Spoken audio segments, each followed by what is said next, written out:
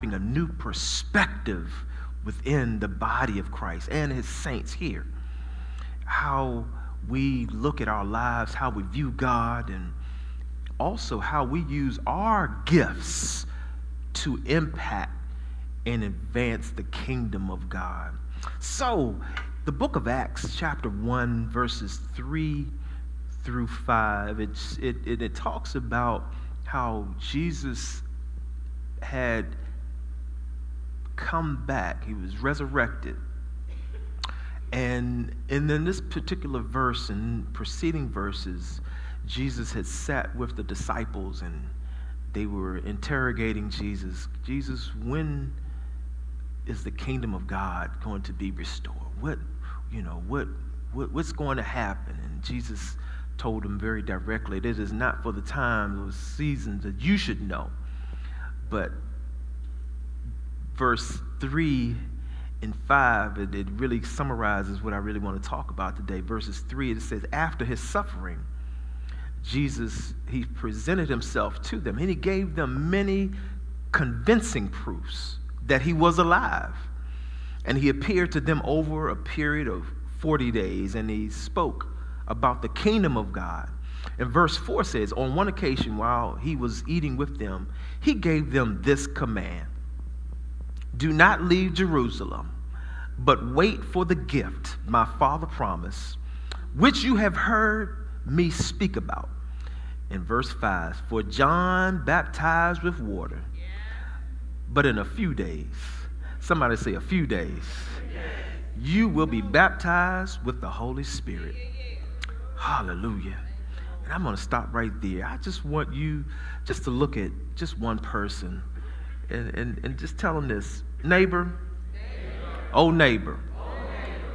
Don't, stress. don't stress. Wait it out. Wait it out. Don't, don't, don't stress. Wait it out.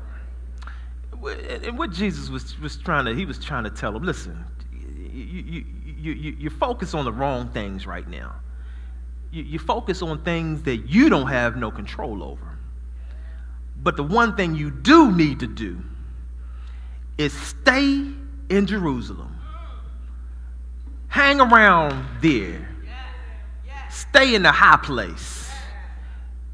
And when you go back to that high place, something's going to happen. I promise you. You don't have to worry about me.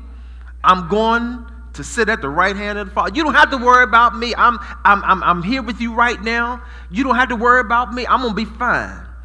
But in essence, with his message to them was don't stress. Just wait. Wait it out. And in a few days, you're going to get something. The book of Acts, as, as many of you know, it, it, it, the book of Acts is actually, it is a continuation of the gospel of Luke. Um, it is not included in the what we know as the synoptic gospels but it is a continuation. It is written by the same person who we deem as as we talk and as we uh, uh consider i'll put a handle on him dr luke. Because luke was a physician. And in this particular book again luke he uh, expounds on the works of jesus christ but he also expands on the work of the church, the apostolic church, in the book of Acts. And I think I got some apostolic saints in here today. And just, just in case you don't know, we are an apostolic Pentecostal church. hallelujah. Somebody say hallelujah. hallelujah. And, and what, what, what, what Luke was, was sharing in, this, in these chapters here. He was literally saying, listen, wait. There are some things that going to happen because of my resurrection. That's what Jesus was telling them. You know, there's going to be a lot of things set in motion, and uh, there's going to be a sequence of events that must occur. But you have to go to a specific place. And what Jesus was telling them was, and this is my first observation Jesus was literally telling that telling them, them that waiting is going to prepare your mind. And that's the first observation. Waiting it will prepare your mind. It will prepare your mind. He was trying to tell them, listen, again, there's some things you you you you, you, don't have to worry about. There, there, there's some things that you don't have to worry about because God, my Father, has these things in order. He has these things prepared. He has these things uh, uh, already established. But you, apostles, you, disciples, because there were apostles and disciples in the upper room. And there were some other people that were just hanging around uh, that also caught not caught the Holy Ghost, but they caught the vision, I will say. I, will say it, said that way they received the Holy Ghost just because they were hanging around. and if you keep hanging around, you're going to get some power. Hallelujah. You're going to get a greater manifestation. And, and, and what Jesus was telling them listen, listen, you know, what you need to do is go wait for the promise because when you wait, something is going to be revealed. And what he was telling them was what you need to begin to do is prepare your mind to allow Holy Spirit to be the guiding factor for what you do from now until. And that's what Jesus was telling them. Listen, I'm, I'm, I'm, sending something to you. I'm sending you help. And that's what the Holy Spirit is. Holy Spirit is our paraclete. That's the Greek word. The help. He walks, uh, he walks beside us. He's in us. He's around us. We can't lose when you submit. Because you know what? We got a will. And some of us in here, we got some strong wills. And some of them strong wills, they get us into trouble. Oh, glory to God. I see some faces right now. Y'all say, yeah, why you talking about my will, Pastor Matt? Because God told me to. But y'all, some of y'all know we got some strong will. But what, what Jesus was listening, he was telling them, listen, wait a minute. Allow Holy Spirit, the spirit that I'm going to send, the spirit that's going to manifest when you get on one accord, when you assemble in that place, allow the Spirit of God to be that thing that guides you. And I, to, I just want to encourage us continue throughout these seasons of our lives, where you, wherever you are. Don't stress about even in even going into the season. Don't y'all go into go go into no whole lot of debt trying to get Christmas presents because I was just I was listening to the news and they were saying you know this news report they were saying you know people went into debt last year and they still in debt. I said the devil is a liar. I ain't going in no debt. Hallelujah. No, don't y'all stress about what you can't get. And don't, don't you let your children worry you about what you're not going to be able to get for them this year. That's for some parents. And don't you stress about trying to keep up with the Joneses.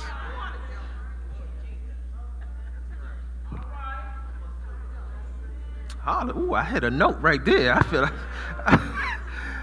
hallelujah. Don't stress. Glory to God.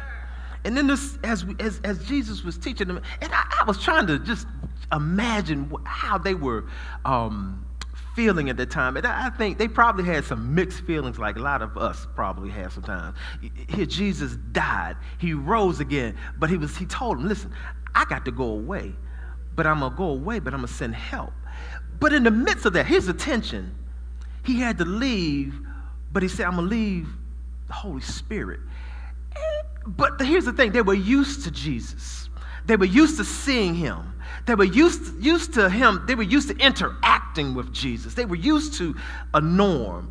And you know, y'all know how it is sometimes when your norm is messed up and nobody likes change. Y'all come in here, y'all sit right in the same, almost same seats almost every Sunday. That's why I told the usher, I said, stop sitting them over there. Tell them move over. Because I wanted y'all to change y'all mindset. I need y'all to start making room for the new saints. Ooh, I'm shouting about my all by myself on that one. Mm. I got a quickening on the inside. It's a mindset, Shiloh. Shata I felt that. You got to change to make room. Sometimes for what you, what you don't even see yet.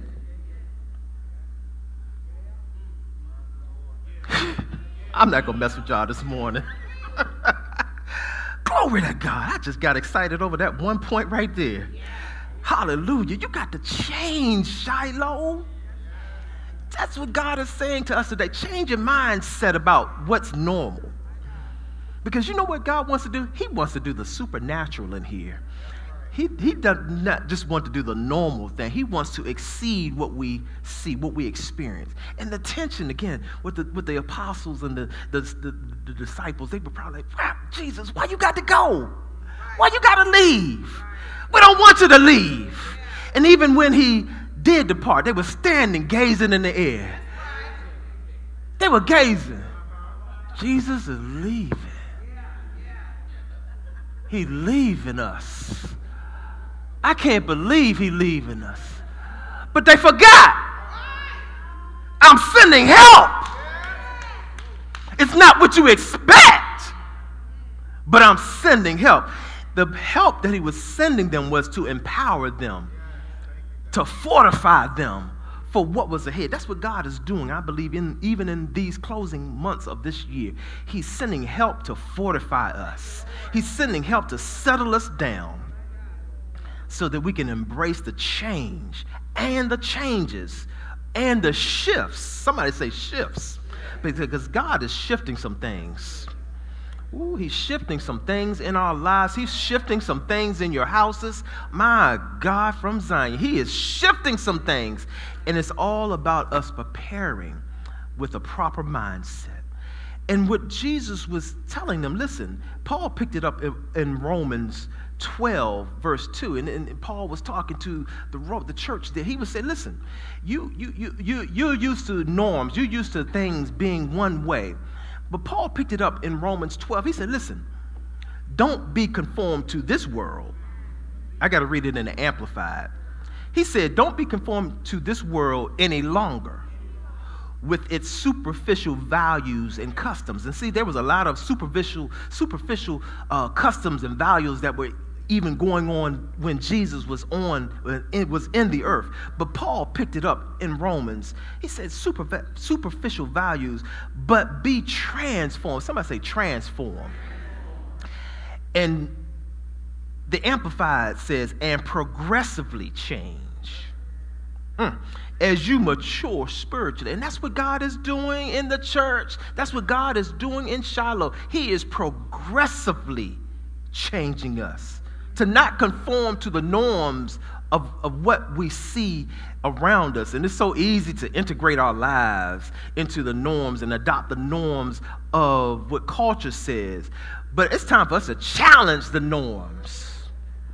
Ooh, I got quiet on that point. Glory to God. That, that word transform, it literally means metamorphosis. And metamorphosis is, is a change from the inside, inside out. It's going to happen on the inside before it manifests. That's why you can't allow people who knew you in your old life try to keep you in a box. They don't know what, what, what and where you are right now. And you don't have to try to conform to what they think you are. I'm talking about everybody right now. You don't have to try to try to try to I change. No, you ain't got to say nothing. Just be. You ain't got to fuss with you ain't got to fuss with nobody. I'm spitting. you ain't got to fuss with nobody. You don't have to strive with nobody. You don't have to get in contentious fights with nobody. Just be who you are. Allow Holy Spirit to change you from the inside out. Glory to God. Paul goes on to say, by the renewing of your mind, uh, focusing on godly values and ethical attitudes. That's what we need to do. That's all about, that's all a part of the, the transformation of our mind and how we need to wait in his presence. Be transformed by the re- renewing of your mind by focusing on godly values and ethical attitudes so that you may prove for yourselves what the will of God is, that which is good and acceptable and perfect in his plan and purpose for you. God has a plan and a purpose for your life. And it impact, and, and, and what happens is, it's all related to the way that we wait, how we how we sit in God's presence. And waiting doesn't necessarily mean being stagnant. It doesn't mean not being progressive. But waiting can mean preparing. It can, it can be, mean that you, you're moving within and through your transitions. Because as you move through your transitions, you're still waiting, but you're still moving. Transition is fluid. Okay? So as you wait for God to renew your mind, as you wait in God's presence, God will continue to prepare your mind. The second observation that I want to share is waiting will allow you to mobilize. It will allow you to mobilize. And that's what Jesus was telling them. Listen, you got to begin to mobilize. You got to begin to get your plan of action. Because again, you it just just in case, I'll just give you just a little short teaching here. What happened was there was transition before manifestation. And Jesus told them, listen, you got to go to this place. But in the midst of the story, the apostles had to um, replace Judas. And the, reason why they had to replace Judas because Judas, he died because of his disobedience. And of course, he betrayed Jesus. It was a part of the, it was a part of God's the plan and the purpose. But they had to choose a replacement and the replacement was Matthias, I believe. And, and, and, and here's the thing as they went through this time of transition and mobilizing, what God was literally teaching them was how to deal with and how to make hard decisions. He was teaching them to make hard decisions, but they had to do it together. They had to be organized. They had to be um, in one accord, if you will. They had to be together. They had to follow the guidance of the Holy Spirit, even before it manifested. And they dealt with, and I'm and I and, and I want to pause here too. They dealt with, and I know they did, but the Bible is explicit, but it's also implicit. That means there's some things that are implied. When you think about interpersonal relationships, I believe that they also had to deal with some interpersonal struggles. And as I'm p- preparing us, as, as God is leading me to prepare us for, for next level ministry, we must continue to deal with interpersonal struggles in a healthy manner. I didn't get too many amens right there. I'm gonna just put put Parkway. I'm gonna put a put my put uh, I'm gonna put a quarter here for just a minute. And I don't know, I might not hoop today, but I just want to deal with this one second. As we mobilize as a church, there's some things that we cannot take into a new decade. There's some old stuff and residues that we got to address in some of our relationships. Some of us been walking around tiptoeing around each other and mad because we don't even know why we mad. God has said it's time for that to stop. How in the devil you gonna make room and you dealing with this, but we're trying to reach the unsaved, but we ain't got it right here. Oh, this might not have been what you wanted to hear on today. That might that, that wasn't in my notes. But there's some stuff we got to deal with as a people of God. Stop dancing around stuff and, and stuff that you done put in, up in the uh, up in your heart. I mean, up in there. You done tuck. I mean, you done tuck. I'm gonna t- yeah, I'm gonna show you what y'all doing. Yeah, man, you done tucked it up in there. You and you're walking around with a wound. God said it's time to get rid of the wounds and deal with the stuff. Deal with the infections. Lay it on the altar.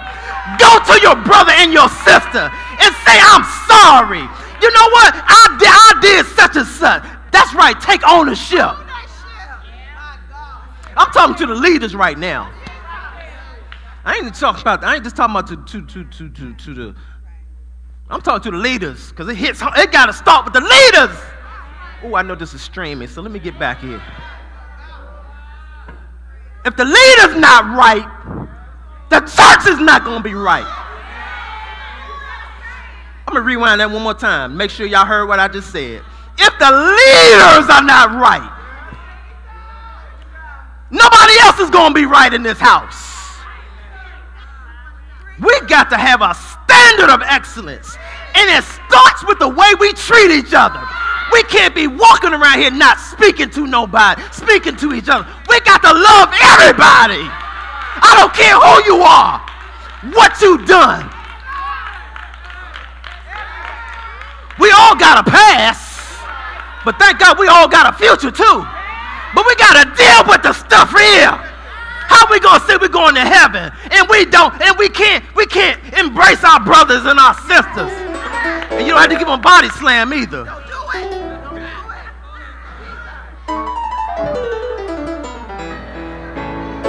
Everybody right.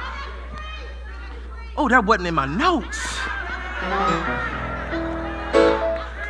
I'm jumping into my leadership uh, stuff.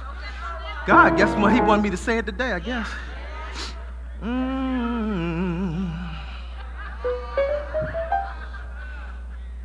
Ooh, let me f- figure out where I was. We got to begin to mobilize. We got to begin to mobilize for what is to come. You know, I'm going to say this. I might get in trouble.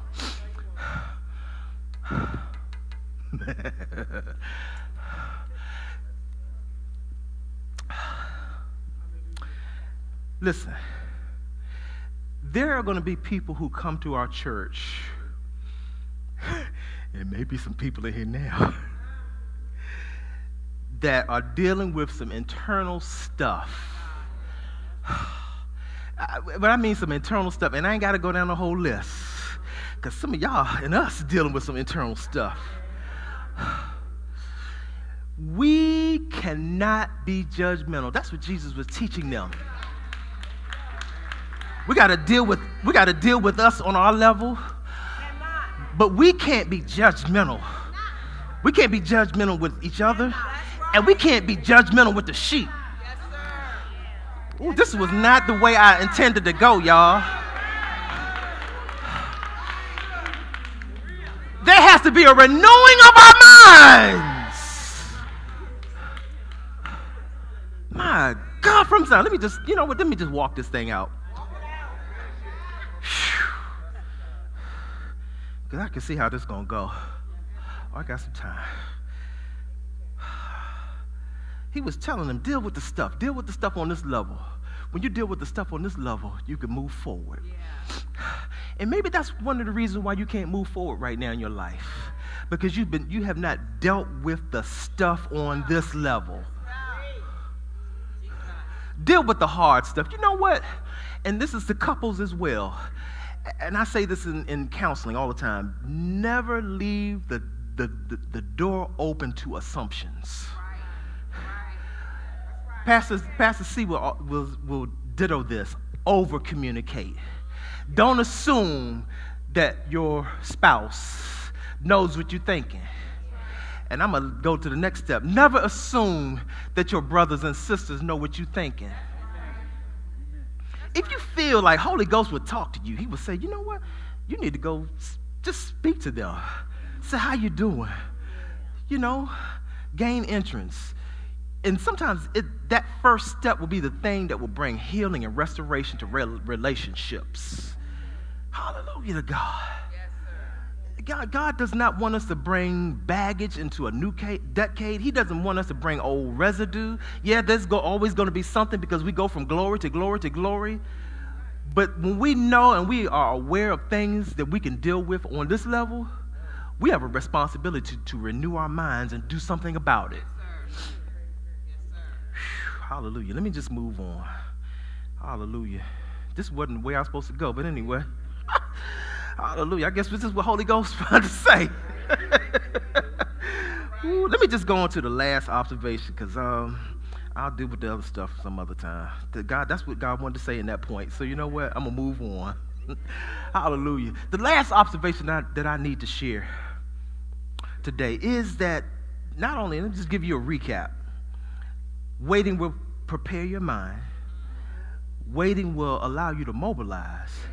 But you know what else waiting will do? Waiting will improve your outlook about what to expect. Waiting, when you, write with, when you wait with the right attitude, it will improve your outlook about what to expect next. And this was what Jesus, again, was doing in, in, in, in this text, in these verses, in these early chapters of the book of Acts. Jesus was working with them. He was working with them over a period of about 50 days, uh, 40, 40 to 50 days. And what he was doing, he was preparing them. He was trying to get them to change their perspective about themselves, about the work that they were about to do, and the things that uh, they were about to encounter. And they, as they went through this process of improving their outlook about what to expect, they had all the proof through Jesus Christ because Jesus, again, remember, he died, but he rose. And then he was walking along with them. He was still preparing them. And see, and, and during this time, this was their verifiable proof. Proof that number one, he was alive, and that they had to continue to trust the process. And that's what that's what Jesus was doing. He was listen, he was saying, listen, there's some things that got to happen. There, there's some things that have to happen. There's some hard choices that you're going to have to make. There's some things that we got to deal with on this on this level. But he said, listen, you got to trust the process. You have to trust the process of waiting. And I don't know who this word is for on today. Some of you in here need to trust the process of waiting. Yes, Lord. Yes, Lord. You can't rush it. You got to wait. You got to develop a strategy. You got to get your mindset. You got to mobilize yourself, deal with stuff on this level, deal with internal stuff, deal with external stuff. Deal with it. And that's what Jesus was saying. Listen, you got all the proof that you need that I'm here. I, I, you can't get no better than this. I'm here. you got verifiable proof that I'm alive, but you got to trust the process when I leave. When I leave, there's some things that you got to do. When I leave, you must change the outlook about what is ahead of you. And what Jesus was developing within them, he was developing them another level, another level of faith. He was developing in them another level to trust the God and the Holy Spirit that was within them. And that's what God, I believe, is doing in these closing weeks. Again, God is saying, trust the process. Wait on me. Your outlook is about to change, but do not make hasty moves.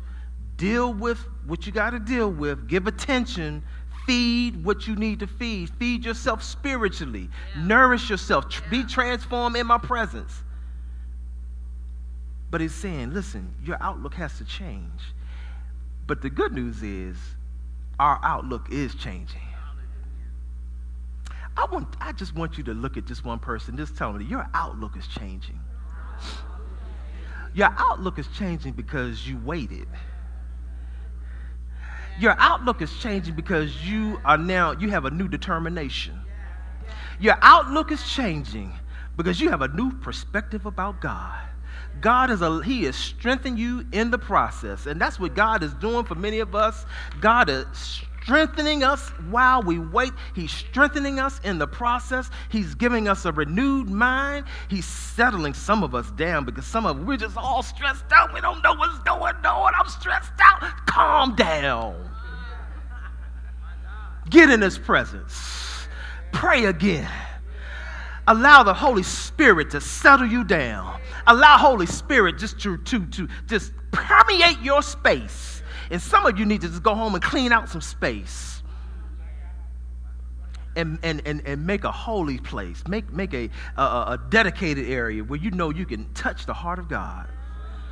Hallelujah to God. Ooh, my, my, my, my, my. I'm going to just stop right there because, you know, one thing I'm learning is I can't give it all at one time. I'm going to let the words settle. But just look at one person say, don't stress. Don't stress. Just wait.